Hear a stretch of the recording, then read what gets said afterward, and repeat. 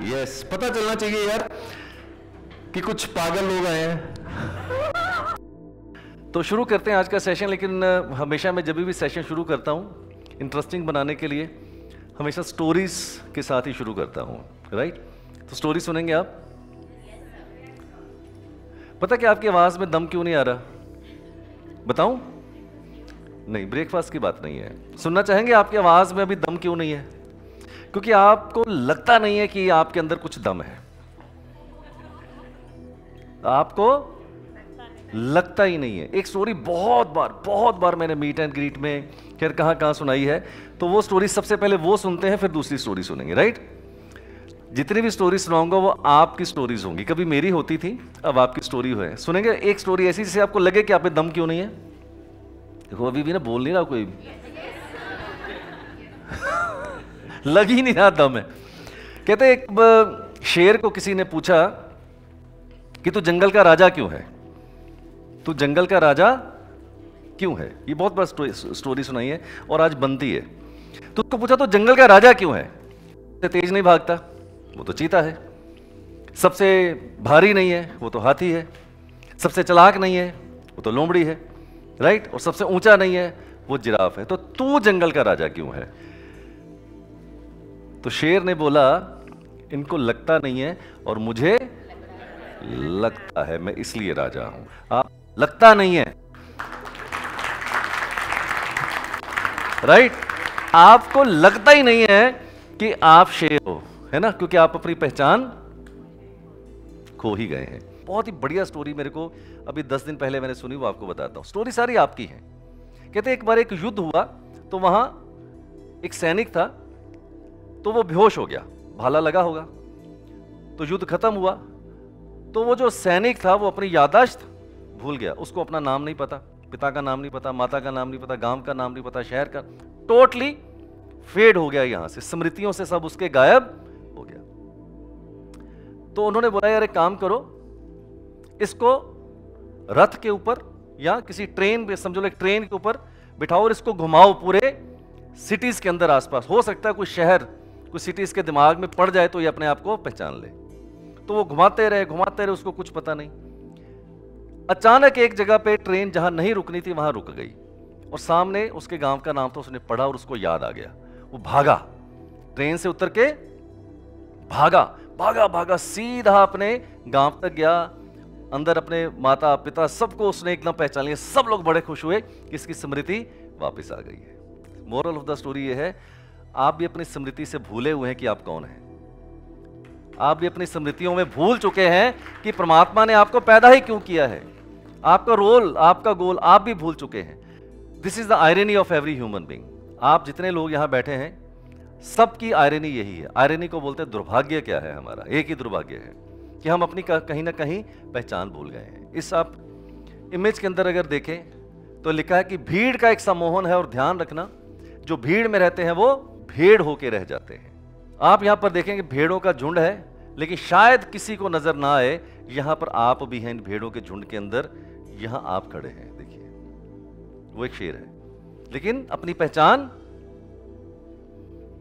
भूल गया है। So I will say knowledge can be a garbage if it is not applied मैं बहुत सी दुनिया में ऐसे लोगों को जानता हूँ व्यक्तिगत रूप से, जिनके पास नॉलेज बहुत है। बहुत नॉलेज है उनके पास बट उनकी नॉलेज और उनका बैंक बैलेंस कहीं मैच कर नहीं रहा। और सब लोगों को एक ही बात लगती है कि मुझे सब पता है। मैं बोलो, चाचा जी, आपको सब पता है ना? बोलो, चाचा जी? वो कह रहे, बेटा, जितनी तेरी उम्र नहीं ना, उतना से ज़्यादा एक्सपीरियंस है। ये धूप में बाल नहीं सफ़ेद हुए।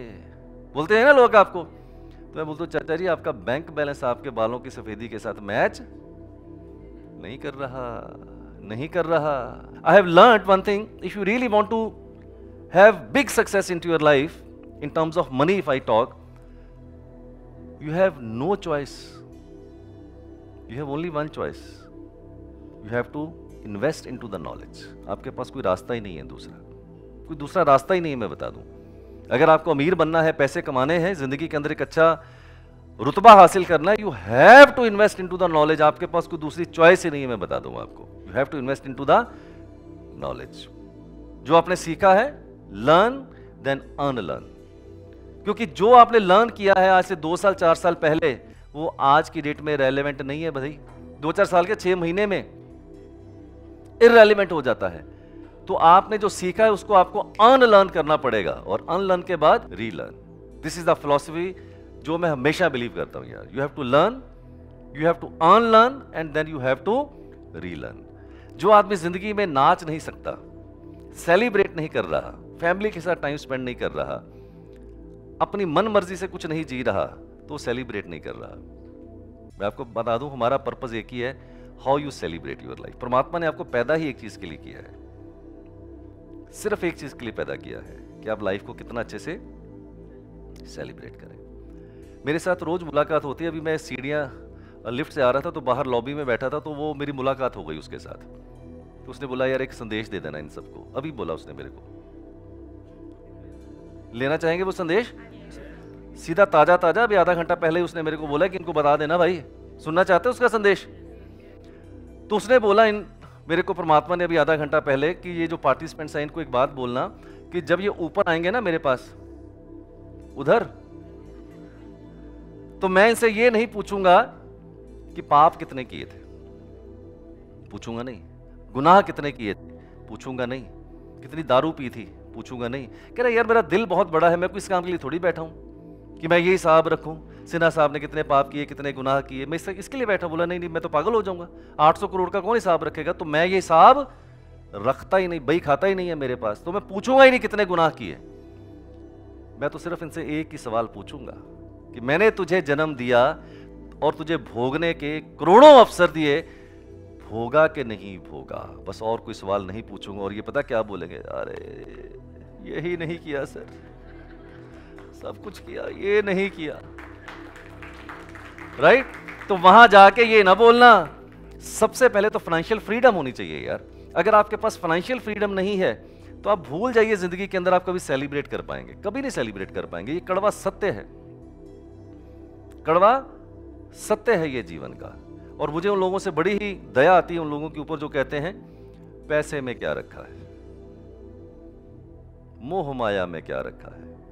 और और भी विद्वान हैं, कहते हैं, सिकंदर भी खाली हाथ आया था, सिकंदर भी खाली हाथ गया था। अच्छा सिकंदर खाली हाथ आया था, खाली हाथ गया था, बीच में जो करके गया था, वो उसका क्या? वो भी बोलो, खाली हाथ आया था, खाली हाथ गया था, और बीच की स्टोरी भूल गए? नहीं सर आप देखो कि आप किस चीज़ के लिए बने हो। मैं कंसल्टेशन देता हूँ लोगों को।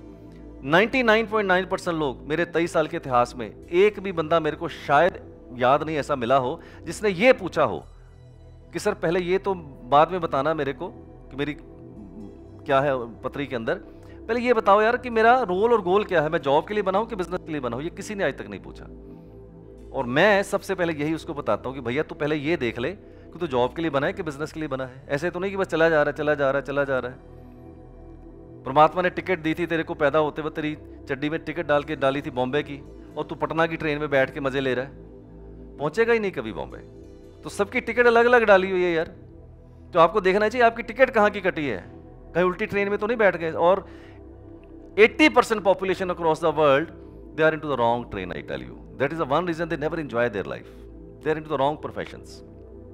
That is the one reason they never never achieve that kind of celebration into the life because they are into the wrong bus. बस कर रहे हैं। क्यों? पिताजी ने बोला, पिताजी का बिज़नेस है। बस किए जाओ किए जाओ, कीजिए। अरे नहीं भाई तेरा रोल गोल है तो discover your true identity this is my date of birth ये शायद मैं अकेला वाहिद शख्स हूँ ऑकल्ट फ़ील्ड के अंदर जो अपनी डेट ऑफ़ बर्थ ओपनली बता देता है। कोई एस्ट्रोलॉजर अपनी डेट ऑफ़ बर्थ नहीं बताना चाहता।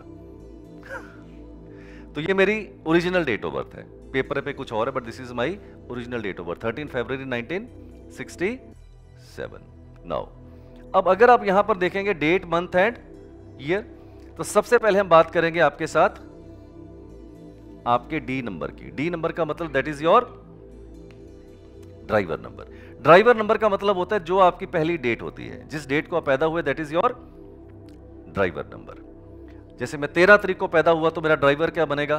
थर्टीन थर्टीन का मतलब हो गया that is equal to four then it comes C number C मतलब कंडक्टर नंबर कंडक्टर नंबर होता है जो आपका डेट मंथ और ईयर डेट मंथ और ईयर इन सब अंकों का अगर टोटल करेंगे तो वो आपका कंडक्टर नंबर निकल के आएगा.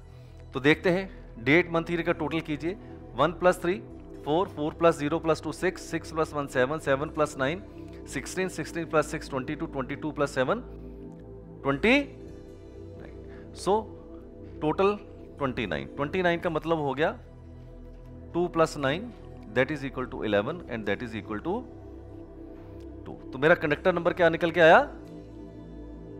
टू अब कुआ नंबर क्या होता है? जो आपका ईयर ऑफ़ बर्थ है, पहले उसको लिखते हैं। 1967 अब 1967 का अगर टोटल करें, नौ एक 10 से 16 सात, तेईस तेईस का मतलब हो गया पाँच। 23 is equal to five it is not the kua number kua number क्या है? जो भी आपका ईयर ऑफ़ बर्थ है, इसका सबका आप टोटल कीजिए।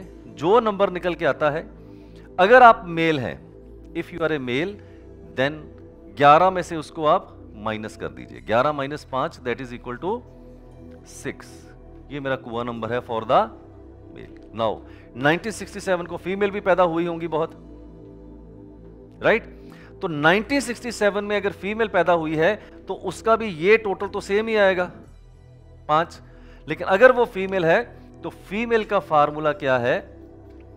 जो भी आपका ईयर ऑफ़ बर्थ है, उसके अंदर आपको फोर ऐड कर देने हैं। Five plus four that is equal to nine अब ध्यान से सोचिए, तीनों में सारे इंपॉर्टेंट है बट सबसे इंपॉर्टेंट क्या है ड्राइवर या conductor driver is always more important than the conductor example suppose कीजिए कि ड्राइवर संत भूषण जी ना? ठीक पहचाना सर? संत भूषण जी, मान लीजिए ड्राइवर जो है, वो दारू किया और कंडक्टर बिल्कुल ठीक हो। कितनी भी टिकट बांटे बट अगर ड्राइवर ने दारू पी है तो कहीं पर भी गाड़ी ठोक सकता है। It mean driver is more important in the bus than the conductor right no driver is very good but conductor दारू पी के आ जाए। बोले, आज तो मैं टिकट ही नहीं बांटूँगा। सीट दूँगा तो भी प्रॉब्लम तो भी प्रॉब्लम कि ड्राइवर बस चला रहा है बट पीछे से पैसे नहीं आ रहे। पैसेंजर परेशान हो रहे हैं बट कंडक्टर इंपॉर्टेंट अब दोनों ठीक है। अगले दिन क्लीनर गाड़ी को साफ़ ना करे। एक दिन नहीं होगी, दो दिन होगी तो बात बनेगी। तीसरे दिन अगर क्लीनर गाड़ी को साफ़ ना करे तो ड्राइवर, कंडक्टर कितने भी अच्छे हो जाएँ। बस के अंदर पैसेंजर बैठना पसंद नहीं करेंगे। इस दुनिया का इतिहास है। पैसा बचा के आज तक कोई अमीर नहीं बन पाया। पैसा बचा के आज तक दुनिया में एक भी एग्ज़ाम्पल नहीं है कोई अमीर बन गया हो। पैसा इन्वेस्ट करके सब लोग अमीर बने हैं यार। इस पेन की कीमत पाँच हज़ार रुपया है, कोई खर्च नहीं कर सकता। जब मैं उस ट्रेनिंग प्रोग्राम में था तो आप समझ सकते हैं कि 2000 लोगों के ऑडियंस में यहाँ पर स्पीकर होगा और 2000 लोग कहाँ बैठे होंगे, और लास्ट की रो में भी नज़र आ रहा था कि बंदा क्या लिख रहा है। तो मैंने अपने स्पीकर से पूछा, मैंने कहा, भाई, ये कौन सा पेन है? जादू है तो इसमें? तो उसने बोला, सर, इसकी फ़ोटो खींच लो, ये इंडिया में नहीं मिलता, ये सिंगापुर से आता है। उस टाइम पे दस हज़ार का पेन था वो, अभी सस्ता हो गया तो मैंने सोचा, यार, मैं जब ट्रेनिंग प्रोग्राम करूँगा ना तो I will use this pen because it is a very small thing अगर मैं ऐसा पेन यूज़ करूँ, दस रुपए वाला आपको नज़र ही नहीं आ रहा the whole purpose is defeated of this particular training program so why I am saying never कभी भी ज़िंदगी में छोटी प्रयास से आप पीछे मत हटिए। छोटे प्रयास के सफल आप, रास्ते बहुत बड़े आपके लिए हो सकते हैं। बड़ा छोटा सा चीज़, पर आप देखो, आपको सबको वहाँ बैठे भी नज़र आ रहा होगा।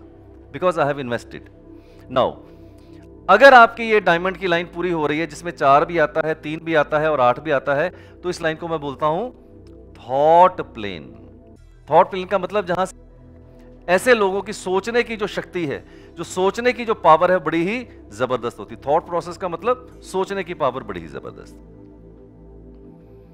अगर मैं इसको और इंफेटिकली समझाऊं तो मैं बोलूँगा, जहाँ से आम लोग, दूसरे लोग, साधारण लोग सोचना बंद करते हैं, ये लोग वहाँ से सोचना शुरू करते हैं।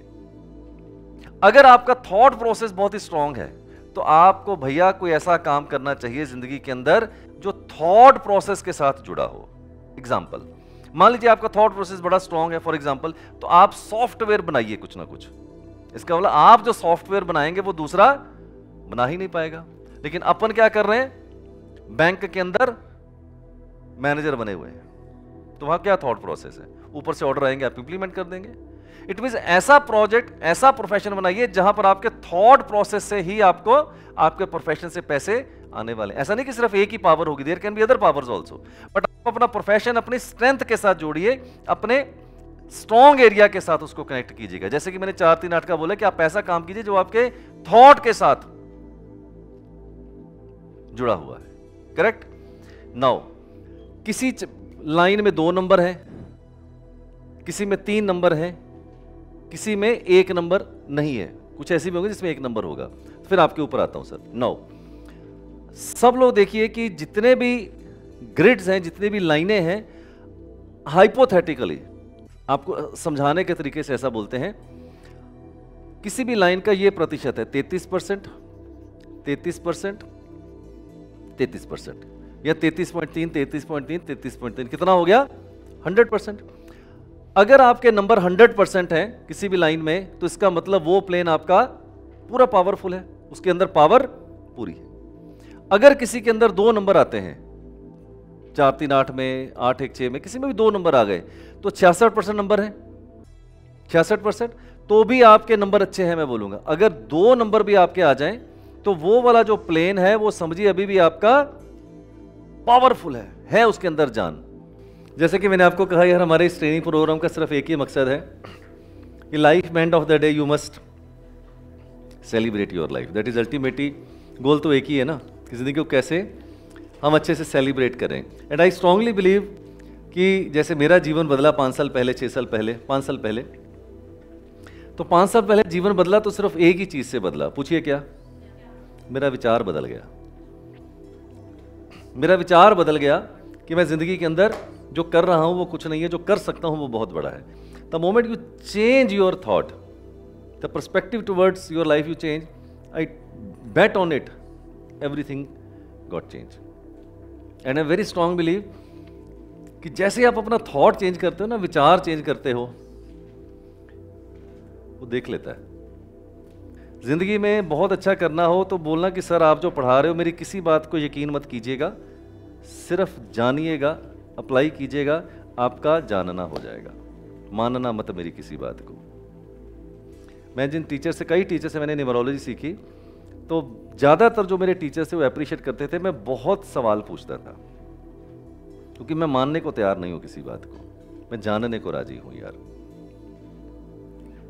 रिवेलियसनेस कर्जियस तो होना ही चाहिए ना, पागलपन तो होना ही चाहिए। तो मैं जो भी आपको सिखाऊँगा, अपने तजर्बे से सिखाऊँगा और ये भी साथ बोल रहा हूँ कि मेरी किसी भी बात को मानना मत अप्लाई करना आपका जानना हो जाएगा। ठीक है सर, आज के लिए इतना ही। उम्मीद करता हूँ कि आज का सेशन आपको ज़बरदस्त लगा होगा, खूब इंजॉयबल लगा होगा। एक अपने लिए ताली यार। देखो, ताली में जान आ गई अपने आप आपकी। कल तक आपका माइंड सेट ही अलग हो जाएगा।